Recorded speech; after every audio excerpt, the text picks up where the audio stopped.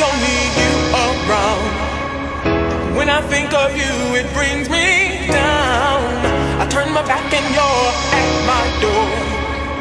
What can I say? I don't need you no more.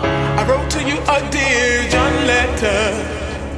I thought that it would be better, but it seems you didn't understand.